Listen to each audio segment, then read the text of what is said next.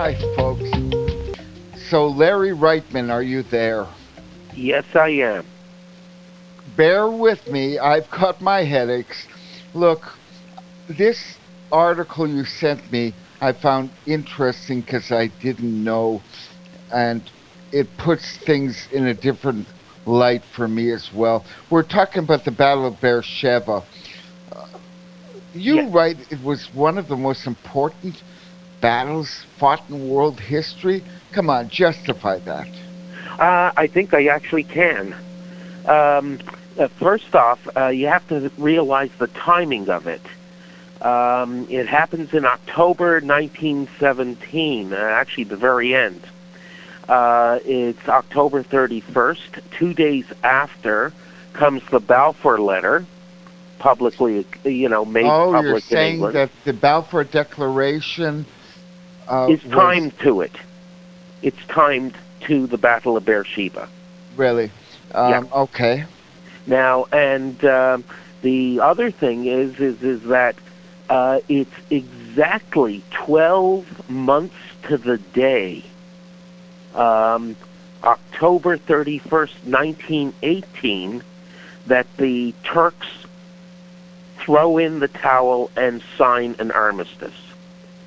Right as the uh, uh, that would probably be a coincidence. No, Um, y- yeah, but also you have to remember uh, that within inside of 12 days after that, the um, the Germans signed their armistice. Because once they lost Turkey, they lost uh, not just their grain supplies, but also their oil and their chromium and tin supplies. in so- other words, when the Turks gave in, the Germans were finished, Th- they were finished, yeah, yeah, and the and- Turks gave in to the British, who captured Beersheba on the 31st of October 1917, making it the underestimated Normandy of the First World War. Yes, that's right. Yeah, because what Beersheba did was once they grabbed it, it, it was actually considered by the uh, many people that were experts in those days.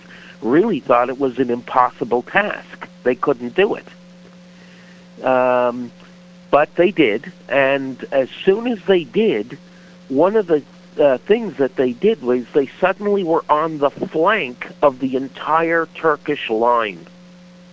So no matter what the Turks did, the Australians were always coming out of the sun at dawn and just overwhelming. So, you know, uh, Beer, Beersheba fought, uh, fell on the 31st of uh, So there should be a monument in Beersheba. I guess like there's a museum on the coast of Normandy to the most essential military battle of the First World War was fought in Israel, well, Palestine then, or whatever it was. It was fought at Beersheba. Well, y- yeah, and you know the interesting thing is the Australians are the ones who have the most information on this because they're well, the ones we'll, who actually we'll talk did the. about them. There's Yeah. a side. Look, first of all, what bothered me about your report, and it was pretty pretty well researched. I gotta tell you. Look, uh, General Edmund Allenby. He was the one, the British officer who attacked Beersheba and won, but no cavalry, no army could have got there without water, and it was Jewish spies That's well, correct. Yeah. all right, just go Yeah. through who Aronson was. And by the way, I have trouble with this. I really do. Was he Australian? Uh, Aronson? Yeah. No, no Aronson was. Uh, I think uh, he came as a child, probably you know like a, a small boy, uh, from Romania. Uh, his, How did he become the effective deputy minister of the Ottoman, uh, deputy agricultural uh, minister of the entire Ottoman Empire? yes, Tell about the wheat and we'll. Yeah, we'll- well, what happened was uh, Aronson comes to uh, the Eretz in uh, uh, before the turn of the century. He grows up there. He uh, sent to French schools uh, by a Rothschild Foundation thing. And What was uh, the foundation's name? Um, oh, I I can't recall right now. All right. Yeah, But we get the connection, yeah. but when you But- make that claim, I sure would like. All right. no, I mean, li- listen, the, the Rothschilds were into a number of things. I don't even want to go there with them, okay? But in those days, in the uh, 19th century, uh, they were the best Jewish hope. You know, they, they were among the best Jewish hopes that the Jewish people had. And, uh, you know, yeah, the, it was a big family. It wasn't a small family, and they were they, they had various factions and whatever else. And that's a, that that in itself is a, a program on its own. But Aronson happens to be one of the beneficiaries, and he winds up going to Harvard, where he becomes an agronomist, a scientific agricultural farmer. And he returns uh, to the land and he establishes an experimental agriculture station. And uh, he starts uh, developing uh, an insight into the flora of of the land. And while searching in the Mount Hermon region, he identifies a species that turns out to be an ancient species of grain that had been the main source of grain foods for Babylonian and, uh, and he the couldn't Assyrian just get a medal. He had to be made an effective agricultural minister of the Ottoman Empire. Well, that comes later. Uh, is in 1903 he becomes famous for this grain discovery, and within inside of several years, uh, the uh, whole uh, Asia Minor is becoming a breadbasket again uh, for for European buying of you know for making bread, and then um, in 1910 uh, he discovers this tree from Australia that uh, if it's in if it's planted in salt marshy areas, basically dries up. They it thrives in that terrain and it uh, dries it up. yeah, and like got- Chaim Weizmann discovered a new kind of dynamite made from paint No, no, chips. no, no, no, no. They- Gary, Barry, don't go there because it's it's not that. But what happens is is in 1911 the Ottoman Empire is hit by a series of locust plagues, and the locusts, it turns out, are really that they nurture and develop in these marshy, salty areas. And All right, he got rid of the mosquitoes. and he got rid Again, of the I- mosquitoes I'm and the asking you, locusts. Yeah. How does a mosquito killer get to be this tremendous spy well, at, that well, Allenby could not have won the Battle of Beersheba without this spy inside the Ottoman Empire? that's right. Yeah. And really, you know, when the British tried to do it without him, they were getting pummeled. Well, Um, no cavalry can. You know, horses need to drink. That's Uh, right. he gave away the locations of, of wells and all kinds of stuff no, he, that he, made he- sure the Turks lost. Yeah, no, he. Uh, there was no wells uh, near there, but there was several cisterns that had been built in Roman times, and and Aronson had mapped them. He, he when he was doing his flora studies of of the land, he came across these things. So he had he knew where they were. So it was then just a matter of getting the the cistern filled, and that was what Edward Clater and, and a couple of other guys did uh, that uh, in September of 1917. They actually prepared these watering Allenby storage. have moved without believing that he had a way to water his horses. That's right. Yeah.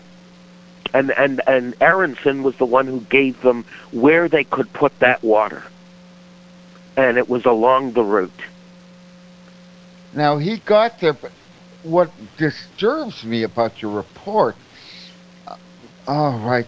You know, I'm going to stick with Aronson for now, but we have lots of other discussions and a Jewish side to the First World War. Aronson, what you're saying, supplied Allenby. Well, uh, his with his sister Sarah, um, that well. Well, there was actually uh, every um, single gun emplacement of the yes. Ottoman Empire, psychological uh, psychological reports on every individual officer. That's right. Yeah, that was really Sarah and Rivka. There was wasn't Aaron wasn't alone. He, he there was a brother Alexander.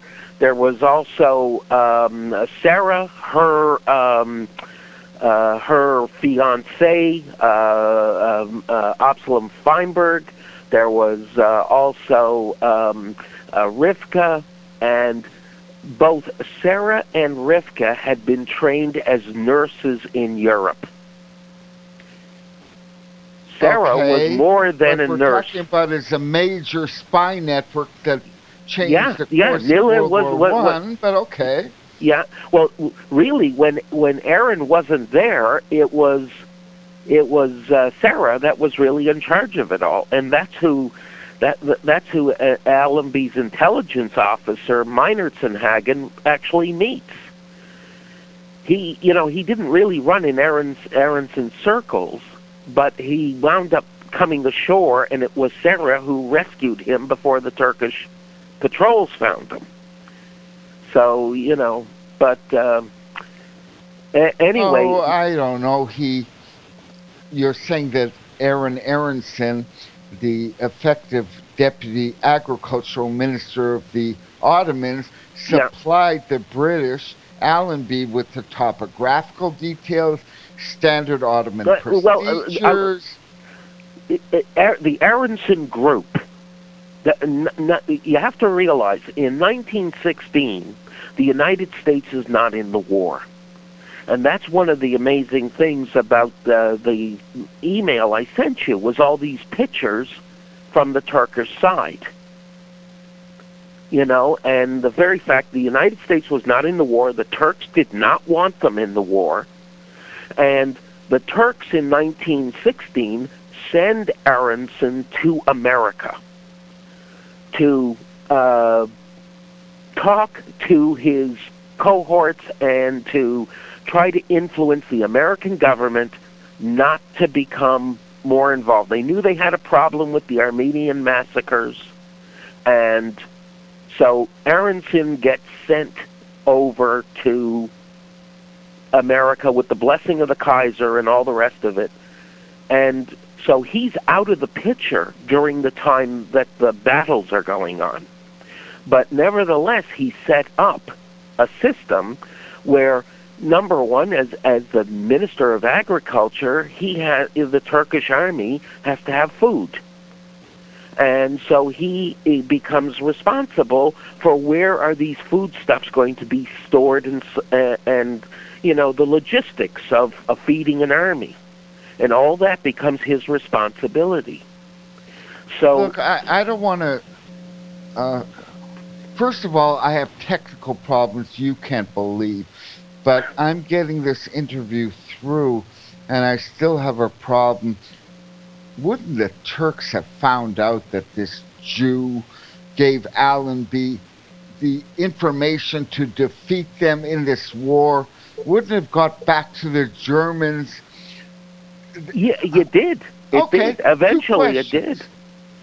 Yeah, yeah. No, eventually the I mean uh, the the Turks did find out, but it was already too late. And uh, Sarah was uh, was was tortured and uh, then uh, basically did away with herself to prevent worse from happening. And uh, Rivka was imprisoned, and all, and all the people from Nili and everything were tortured and imprisoned, and some Look, of them were I killed. I don't want to say this, and I don't want to justify um, anything about Nazis or Germans, Yeah. but Hitler went crazy that the Jews betrayed the German nation. but they didn't. you're supplying is evidence that they really did. No, no, no, no, no. As a matter of fact, um, the the Germans did not see, uh, and and they really put pressure on the Turks not to take it out on the rest of the Jewish community, uh, because they recognized that what was going on was was more a uh, a more enlightened stand against what their allies were doing to to to to innocent people. And uh, you know, you have to see this thing in terms of the perspective. Uh, you're seeing all these people that are they're said to be Armenians, or they could have been Assyrians, or All they could have been Yazidis, or The But they were Christian. with Weizmann. He had an excuse for making dynamite out of paint chips. no, he I didn't. don't buy that for one second. And I, I uh, we went over this once before with you. Weizmann uh, had n- had nothing to do with dynamite. He had everything to do with the development of plastics and uh, and uh, What I'm saying is this Yeah. is the cover story. well, it's not exactly a They cover could care story, less about Armenians and Greeks. Yeah. The Aaronsons didn't care. This is the cover story. I di- I disagree with you. As a matter of fact, I I, I, I see uh, in uh, several letters that uh, Aronson wrote at the time uh, to his German colleagues. He was very upset, and they were upset. But he came to the conclusion that the bureaucracy would not stand up to what uh, Enver Pasha had unleashed. Uh, These are the young Turks who slaughtered Armenians. That's right, yeah. All of this is going on. This is not happening in a vacuum. This is th- this is not betrayal for the sake of financial gain or anything of the sort. This is actually a strategy for their own self-preservation. Because they know whenever they're finished with these guys, they're coming for them next. And Aronson and the family decided they weren't going to be next. They were going to help Oh, the it- British it defeat makes the. them look like they weren't who they were, which was spies and betrayers. Well, you, you want to put it that way. I mean, if you if you're a uh, and many Turks today, uh, especially of the old guard, would exactly see it that way. But in a way, they wouldn't. Um, how can I say? If they would have had their real purposes, uh, an Altima would have never been made a deputy minister. All right. Uh, Y- so- obviously, um, I'm more, um, shall we say, cynical of what comes down to us as history, especially, my lord, you've got Chaim, uh, Vi- uh, not Weizmann, Herzog, writing uh, uh, about the Aaronsons. Look, you may be right, but I could see a lot of people not happy that the this Jew was supplying Allenby with the info to knock out the Germans. and, do, you, and do you understand what I'm saying? Oh, I understand, but I also understand that's a very simplistic reading of, of the facts. Yes, it and it's is. only when you start to realize that there were all these other variables in place that you then start to see maybe these people had another agenda, another intent here. And they, and they, and Right. they had they had good reason I'm not to be to go into to be worried. They- going to Palestine in 37, speaking decent Hebrew and all this baloney. There's a world we don't want to face, and I think we should. Well, uh, you know, uh, I I know that there's let's say uh, uh, uh, a hope of, of of what the world is, or or let's put it this way, a hope of what the world should be, and then there is that sort of gritty, dirty reality of what is the world. Now, here in North America, because we uh, we live with uh, with with in a way even our poor are wealthy compared to other countries of the world but in essence we live in a very very sheltered and uh, um, affable life and place. And so, you know, we can Oh, live with this, this sort of hope. I'm talking about You know, really a very, very good, deep spy network that the British explo- You know what? Tell people Well, the how British to get a didn't build it. I'm sorry. First thing, before we go to commercial break for three minutes, tell Yeah. people how to get a hold of you. Um, I can be gotten at um, www dot true metallic all one word Oh, dot gosh, ca. Spell it out once, just once. We're archived at libertyarchives.com for a week if you missed it. Spell it out. All right. Try it one more time here. Okay. Ours is www dot T R U E M E T A L L I C dot C A. Wow, that's some. All right, we got it.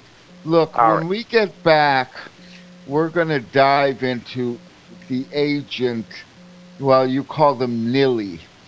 Um, apparently, oh my goodness gracious, when you look that the Jewish Legion arrived on October 17th and Beersheba fell two weeks later, something is going on.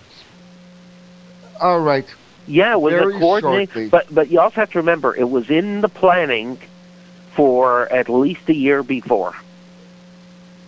All so right. what look, Larry, appears I'm what? having uh, technical problems all over the place, but I think we've got something important that we're talking about right now.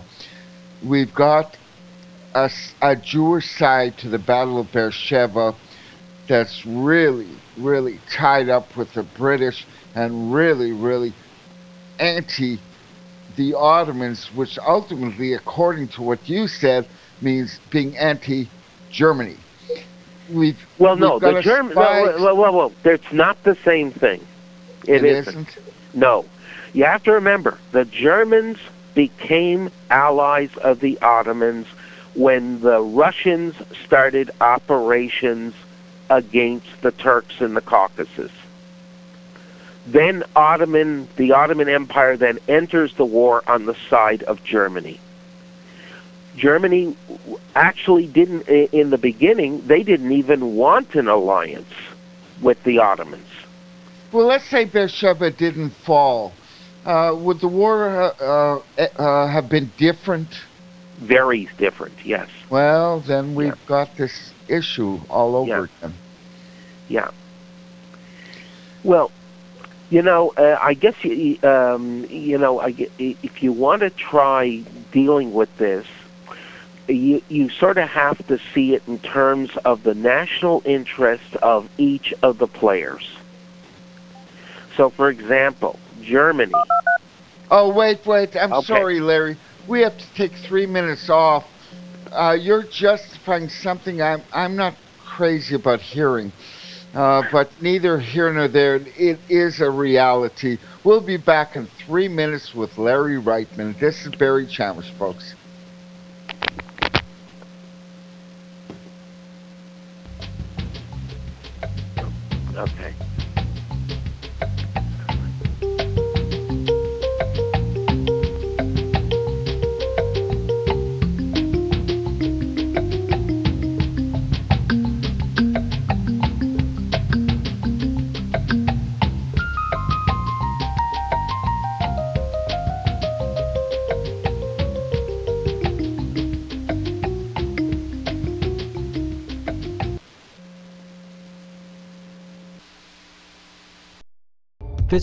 crosstheborder.org, C R O S S, crosstheborder.org, to get your print, EPUB, or PDF version of the book. The Rapture Will Be Canceled. That's crosstheborder.org. I know you all want answers, and believe me, so do I, and I'll do my best to get them. Despite Nicolas Cage's promise to do his best to get left behind rapture answers for us, don't hold your breath. Not everyone believes Left Behind is true prophecy. Some may even regard as conspiratorial the mainstream re-release of the Left Behind movie with actor Nicolas Cage portraying the main character as an attempt to further reinforce in the minds of all this perception of false prophecy in order to condition the masses for the play about to begin. If you want true Bible prophecy answers, get the book. The Rapture Will Be Cancelled. The author exposes the Latin rapture origin, the seven year tribulation deception, true Bible revelation of Daniel's 70 weeks, the abomination of desolation, the restrainer, America in the revelation, the image of the beast and the mark of the beast, and the truth about God's chosen people, and so much more about Bible prophecy.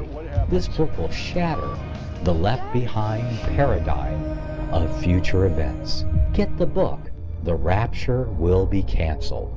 Visit crosstheborder.org, C R O S S, crosstheborder.org, to get your print, EPUB, or PDF version of the book, The Rapture Will Be Cancelled. That's crosstheborder.org.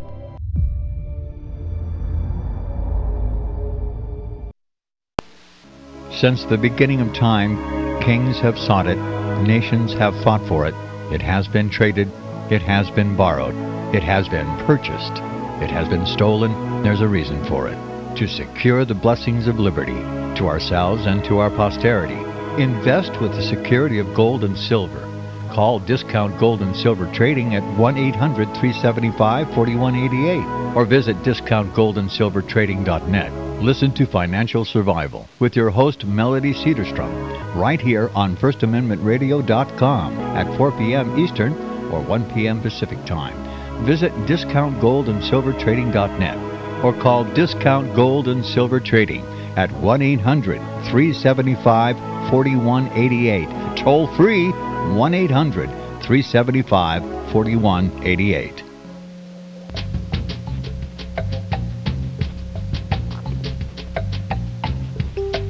Hi, folks.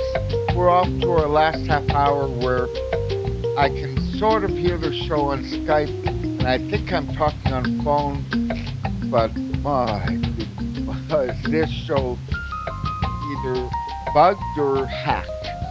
Look, you get my books at lulu.com, www.lulu.com. Write in my last name, Chamish, C H A M I S H. That'll take you to my books. My website is Next week is Christmas. We're taking a vacation, and why not? Who'd be listening in the middle of Christmas, anyways?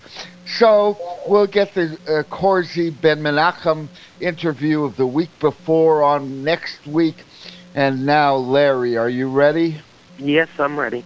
Who were Nili? N-I-L-I. Who were Nili? Nili was the name that they gave to their, um, um, I would call it a, a, a club, because at, at first it started just as a family with some of their friends. And then as it went on, uh, some more became involved. And um, it doesn't really start until about 1915 or so. So it's it's already uh, Sarah has just returned uh, from uh, Europe via Constantinople and uh, witnessed and saw what was happening to the Armenians uh, across uh, Syria and Asia Minor. and uh, Who is she- in Nili? This is a very nice background. Who was in Nili and why did they choose to help the British against the Ottomans? Well, first off, you have to remember in 1914, when the Ottomans go to war, the first thing they do is they expel many uh, uh, Jews from the land of Israel. Um, they they're they're expelled.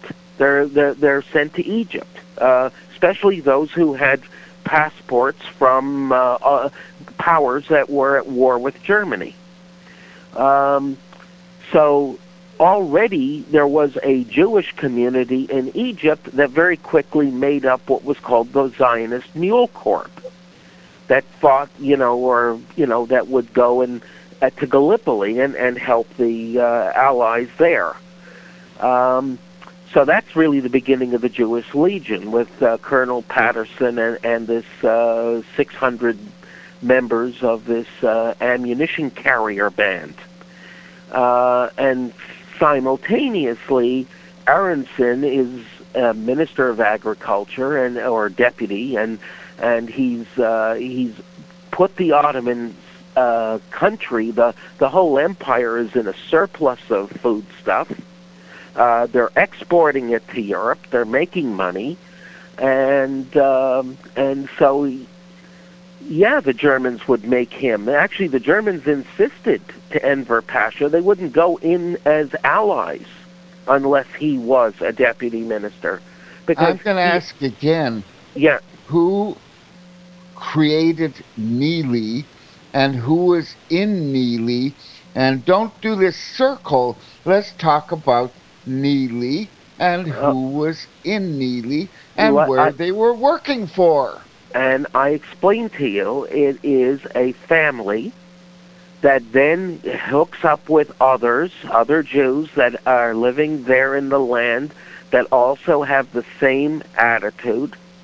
They know that the Ottomans are not, uh, it doesn't look good. You have to remember, there was a guy called Hassan Bey that ruled, uh, the, was, was basically the police commander of the whole area and uh, and, and he was a, he was a bully and a tyrant. Uh, so Nili didn't have to really recruit very hard. Uh, a lot of people just were so ticked off at what Hassan Bey was like. So, um, but uh, who I can't give you all the names, uh, Barry. I know that eventually the Turks uh, had arrested some 160 or so uh, and um, some were killed. Um, like uh, uh, Sarah's fi- fiance was killed trying to get to British lines by Bedouins. Um, so are you saying they were early Zionists? well, uh, uh, they, they they were there before uh, official political Zionism. Political Zionism starts around 1900 and uh, these folks, many of them, were there for decades before. I'm going to ask you straight out. Now, I've got problems of just hearing, but you're saying a deal was cut where if the British get Palestine, we'll sign the Balfour Agreement. Is that right? No, no, no, not exactly. I, I think I mentioned to you before Is about the part French. of it right? What? No, not not at all. Um, really, the uh, the Balfour Declaration is uh, is a, a screen. The people who had all the legal rights in the in the Holy Land was the French. Oh gosh. That's all right. right. The uh, French had all the, the legal French. rights. Yeah, and the Where Americans the knew the Holy Land. Yeah, and the Americans knew that if they had problems or or business opportunities in the Holy Land or anywhere in the Levant, uh, they had to go to the French. They had to have French agents or or uh, you know French uh, uh, notaries or whatever. You know, but so the French had that special status. And the only way the British were going to get it away from the French was they had to, the only people that had equal standing in a hypothetical, let's say, international court were the Jews. Because when the French got their rights, they had to co author it with the Jews in 1535. So, so then that's when the British decide that, uh, well, no, the British Zionism started roughly in Oh, the 1840s as a religious You're revival. The French are allied to the British in this. First World War. That's right. Nili, you're saying, are allied to the French, or where are the French? No, this? N- N- Nili comes into existence really after the war is on. It doesn't start before the war. Whereas in the case of what was going to happen very early on, um, you know, before even Gallipoli, uh, the the British knew that they had to have something worked out with the French on you know future dividing of spoil should they win the war. So that really starts Sykes-Picot. And I guess uh, that kind of explains. Um, as I say, people have got to get a hold of you. I'm not even sure what you're saying is right, but what you're saying is Nili was working essentially for the Allies. that's correct. Yeah. Good. They were they were really they weren't working against the Germans. As a matter of fact, Sarah was adored by much of the German officers, and even the Turkish soldiers respected her because she was a very competent nurse. Her and uh, Rivka, the, her sister, were uh, were adored. Uh, the, the, they, they were the types that came and you know visited the, a sick soldier and stuff like that, and stayed by their beds and All So, right, you they were the feminists of the time, and she was caught Yeah. by a pigeon, you say, intercepted, uh, which caused her to be uh, tortured, and she That's- killed herself. yeah. Let's, all right. Yeah. Let But but when forget when- Aaron right now. We're talking about his sister Sarah. Sarah, yeah, who is really a, a remarkable character. Yeah. As a, as a matter of fact, the the chief of British intelligence actually dedicated a book to her. You know, he he was so taken with her. So I know. All Yeah. right. We still haven't answered the big question. How did you get into Nili? Where did you come from? Why was it even? I didn't, you know, I didn't start out with Nili. I was actually just trying to find out uh, what what was the truth behind um, uh, how was it that they were able to get Beersheba. You don't understand what Beersheba is until you really see the area topographically in every which way. And then you realize that this was literally the natural killing ground of an army. You didn't you didn't need weapons to kill off an army at Beersheba. All you had to do was just scarcity of water would do it. Plus, you know, loads of poisonous scorpions and snakes and whatever else on under every rock. Huh? And add to that the state of the art defenses that the Germans then designed. You know, it was it was really seen as unbelievably impossible. All right, Uh, now, uh, Larry. Just so you know, um, I'm Yeah. having amazing sound problems, but I think I caught that. Now I want to go into the Jewish Legion. By the way, they are absolutely immortalized in the mythology of Israel. The Jewish Legion. They were the British Army's 38, 39, 40, 41st, 42nd, 43rd Service Battalions of the Royal London Fusiliers. Yes, That was yeah. the Jewish Legion. And they were recruited in 1617 and 17 and went two weeks into, um, well, they went into battle uh, for Ber- uh, uh, for Beersheba. yeah, Go and, through this and the, whole thing. Oh boy. yeah, and and Go the incredible the incredible thing, Barry, is is they weren't just ordinary soldiers. They were the tip of Allenby's Oh, come on. If you had a Jewish army of the American army, here's your Jewish platoon. Yeah, Uh, it, it would stand out that they were Jews. yeah, yeah. No, they they they, they were superbly trained, and uh, and the idea was was they had learned a certain technique on how to hunt down and destroy a machine gunner.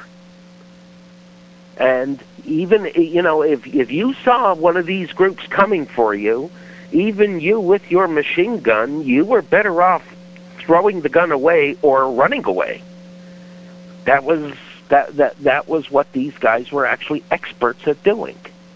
They used it. It was a combination of a, a almost like a cat-like hunt where men coordinate in tandem, and they literally use diversion and everything. And and before you know it, you're in their uh, you're, you're in the grenade throwing range. You know.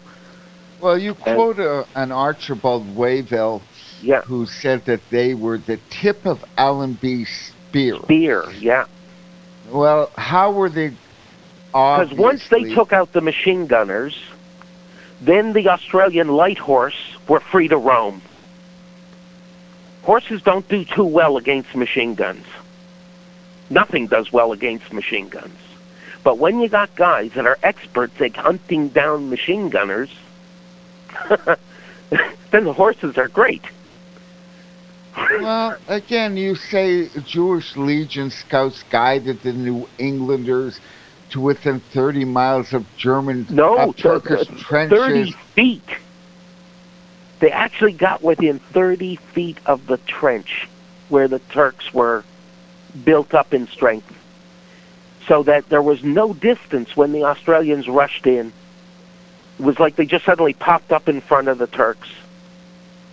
Well, how did they know where this trench was? How well, did they know? this, the, the, this was a thing that if if you were if you grew up in that country and you knew the area, there were probably a couple of guys in that you know scouting squad that actually knew the lay of the land. And if you know the lay of the land, you can you know you can be outnumbered fifty to one, and uh, you're going to come out on top because you well, you you actually turn the land into your me, weapon. What you're describing to me is. Beersheba would, would have never fallen. That's right. Yeah. Without the Jewish Legion, without Nili, and without the Aaronsohn. That's right. There was no way Allenby yeah. would have captured the joint. That's right. Yeah. But and once he had Beersheba, like I said to you, it, it, it was it it just became uh, you know, just one thing after another. You know, uh, uh, they went from uh, Beersheba to uh, on the first they take Abu Hiru. On the second they took uh, uh, Atwane. On the third they took the fortress at Ali Muntar. On the fourth they took Gaza. You know, it was they just kept on. It was always after that wherever the Turks were, the Australians were always coming up their back. And as I said before, this was certainly yep. um, an unacknowledged Normandy with the Battle of Beersheba. Yeah. And I don't know, again, if the plan was to get this Balfour de- uh, Declaration. I'm not sure what was no. The really Balfour Declaration is a spin-off. It, it, it's first off, it uh, it it sends a message to the Americans that the British are helping Jewish self-determination, which was a big deal for the Americans in 1917. So that was, uh, and so American now, public opinion. German Jews who actually fought and died for Germany. Yeah, yeah. Well, I mean, you know, the the interesting thing is, is you cannot see the Balfour Declaration in a vacuum, because in fact, Kaiser Wilhelm uh, met with uh, uh, several officials from the Zionist organization uh, about a year before, and uh, and uh, that was one of the things Aaronsohn was told to tell the Americans was that Germany would look with favor and help obtain autonomy for the Jewish national home. Oh. So there, uh, although the Germans didn't have it in writing, they had uh, they had sent out feelers and and especially towards American Jews. In the case of Eastern Europe, you know, uh, the Jews were a possession of the Russian Empire and they were enemies anyway. Yeah. All right, I'm going to go into your war plan again. and I think we're telling in our own way. Uh, Excuse me for uh, one second. a different history than. Look, you're saying the British. Hear me out. I can't Yes. hear you, so you have to hear me out. Okay. You're saying, again, you're saying the British realized they'd have to take Palestine to secure the Suez Canal. Um, first of all, I'm not sure that's true. Uh, Well, it was true. Uh, Barry, you have to remember, the Turks tried in 1915, and they also tried in 1916 to come out of Palestine and grab the Suez Canal. The other thing was was that if they were really serious about going after the Ottoman Empire, Palestine was the front door. Once you kick open the door, then the 400 year old empire comes crumbling down. So, yeah, they had no, uh, uh, you know, at first they didn't want to do it. They thought Sinai would serve them. But, uh, especially, hello? Yeah, leave it be. It's my radio station is putting things over my phone. I don't know why. All right, Okay. look. What is Samson Ridge? Samson Ridge is a name they gave to uh, Kafar Nitzarim. And what is Kfar Netzarim? Kafar Nitzarim was a uh, was a mesa, uh, a, a table, a tabletop mountain, like a tabletop hill. Was it? It, it, stood up south on the south side of Gaza. It was in Gaza itself? No, it was about ten kilometers away from Gaza itself, and it was like a table, uh, a, t- a, t- a table uh, hill. And at the top, the Wait a Germans. second. You're saying Jews were in Gaza Yes, in 1917? There was Oh, a, a- before. a Jewish settlement in Gaza? That's right, 1898, yes. It was called the Pert Muller Date Plantation. And it was owned by a German company. All right, what is the Pert Multer? oh, it was, it was named after some baron, and uh, they, uh, they, they, the table had its own water well. So it had its own source of water, uh, an artesian spring. So they had a plantation. So they had talking dates. about labor Zionists, I That, assume. uh, no, they weren't labor. It was really uh, the, no labor Zionists at all. It was all uh, it was all uh, German capitalists. really? yeah, but German Jewish capitalists. Oh, what does that mean? What? What's Because a they- German Jewish Catholic? No, I said capitalists. Oh, capitalists. Okay, I got you. Again, we're doing this show. When the show began, um, I had no Skype. Now I do, uh, but so I hooked up to the phone, and my producer, I think, is talking on the phone every now and then. Uh, but once again, you're providing a very good interview, in spite of all these things. Look, you're talking about a, a very good German general in Beersheba, that's Kressenstein. Yes. Uh, what he said is the Jewish infant, uh, well, the Jewish Legion, um, in essentially were the best darn soldiers, and they caused no, no, he said that about the Australians. Ah, He said that about the Australian soldiers. He he considered them the finest he had ever seen. Yeah. all righty. Now And- and- I'm gonna. Yeah. Now, uh, just bear with me. I got troubles, boy. But you, I'm going to quote you, which sums up your argument. And now is your chance. Here's your quote. In hindsight, the Battle of Beersheba is the pivotal point of history. Uh, boy, oh boy. and was the most decisive turning point in the Great War, and it shaped the world today. Now, come now. Isn't that a bit of embellishment? the pivotal uh, point. Well, you know, uh, I, I, I, you know, it's a, it's a, a person's opinion, and I make it really based on uh, some pretty sound judgment. Uh, uh, you know, uh, I guess the more interesting question is: is what if it would have been partial? If it wouldn't have been the victory that it was, that you know, 800 Australian light horsemen uh, took out 4,000 well-armed defenders uh, with a total of 39 casualties. All right, and, they won big time, but it, come on, it wasn't the pivotal. Yeah, well, uh, yeah. I don't know. you, you have more of an uphill argument than I do. it was a very important victory, and it's been very overlooked. Yes. And yeah. I'll bet you under the table it was not good for the Jews, no matter what you think. But I got my well, own reasoning.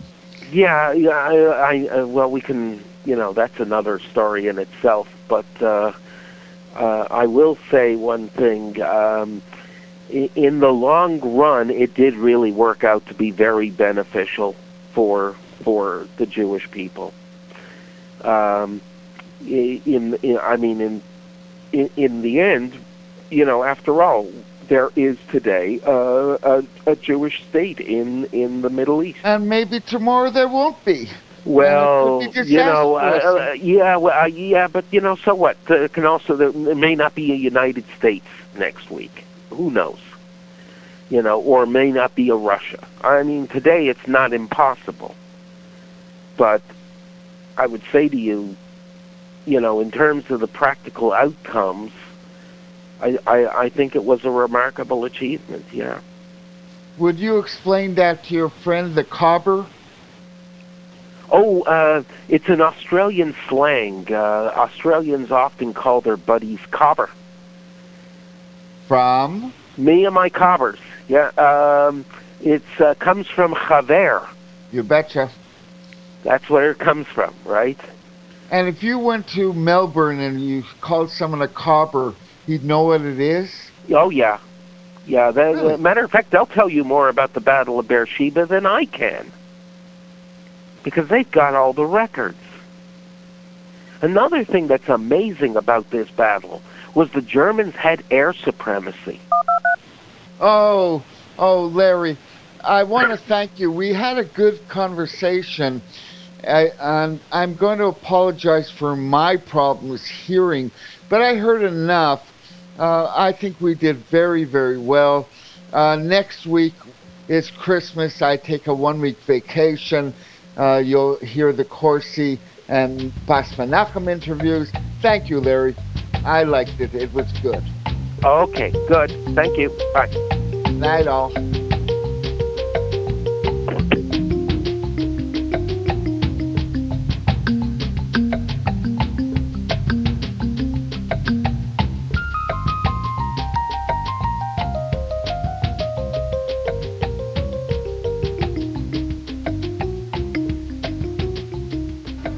If you'd like to get a copy of this program, you may subscribe at FirstAmendmentRadio.com for only $45 a month, and you'll receive an MP3 CD weekly of all of our programs. As a bonus, we'll send you a password for our audio archives online. That's a $15 value. Or you may request any month of any program on one MP3 CD for a minimum donation of only $25, or any single program on tape, MP3 CD, or CD for only $15. You may do all of this online at FirstAmendmentRadio.com. Just follow the instructions to make a donation or subscribe. You may also adopt an hour of your favorite program. Please don't forget that most of the programs on FirstAmendmentRadio.com are listener supported. Don't do internet? Then call 559 781 3773 and we'll be honored to help you. Thank you from all of us here at FirstAmendmentRadio.com.